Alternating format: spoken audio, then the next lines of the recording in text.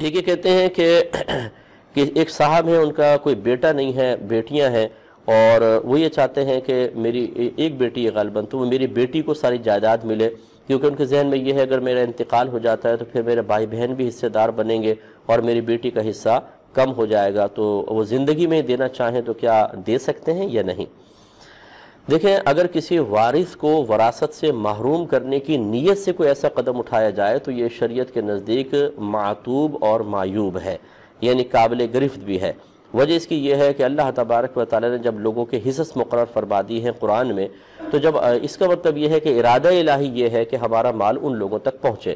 اور ہم اللہ تعالیٰ کے ارادے اور اس کے تقاضے کے خلاف، اس کی مشیت کے خلاف چاہتے ہیں کہ نہ پہنچے۔ تو آپ اسی سے دیکھ لیجیے کہ اس میں کوئی شرعی قباحت نظر آتی ہے یا نہیں آتی ہے۔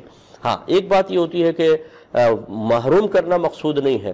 بھائی وغیرہ، بہنیں وغیرہ آسودہ حال ہیں۔ بچی کے بارے میں انسان سوچتا ہے کہ میری ایک بیٹی ہے، ہو سکتا ہے بھائی بہن آگے اس کو نہ سنبھالیں، کوئی اس کا صحیح سہارا نہ ملے تو میری بچی رل جائے گی۔ تو میں زیادہ سے زیادہ اپنی بچی کے لیے کر جاؤں تاکہ میری بچی کسی کے محتاج نہ رہے۔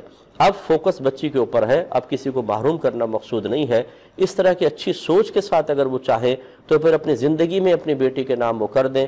اور نام صرف کرنا کافی نہیں ہوتا، اچھی طرح یاد رکھیں، مکمل طور پہ اسے تصرف کا اختیار دے دیں۔ یہ مکان آپ کا ہے، یہ بیلنس آپ کا ہے، جیسا چاہے آپ استعمال کریں۔ اب اگر بیٹی خود یہ کہے کہ نہیں، آپ ٹھیک ہے، آپ بھی میرے ساتھ مکان میں رہیں اور یہ بینک یہ بیلنس میں جو کچھ ہے اکاؤنٹ میں یہ آپ بھی یوز کر سکتے ہیں، وہ اپنی خوش دلی سے اجازت دے دے تو ایک الگ بات ہے، وہ استعمال کر سکتے ہیں۔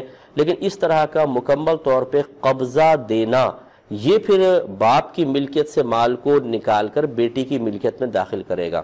ہمارے یہاں بعض اوقات ایسا ہوتا ہے کہ ابا جان کہتے ہیں کاغذات بنوا لو بھئی ایک بیٹے کے کاغذات بنوا، یہ دکان تمہاری ہے۔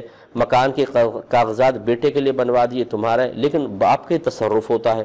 بیٹے زندگی میں بیچ نہیں سکتے ہیں۔ یاد رکھیں، اس طرح صرف کاغذات بنوا دینے سے والد صاحب کی ملکیت سے وہ دکان یا مکان بیٹوں کی ملکیت پہ نہیں گیا ہے۔ لہذا اگر والد صاحب فوت ہوتے ہیں تو شرعی لحاظ سے اس میں تمام ورثہ کا حق ہوگا۔ یہ اچھی طریقے سے مسئلے سمجھا کریں۔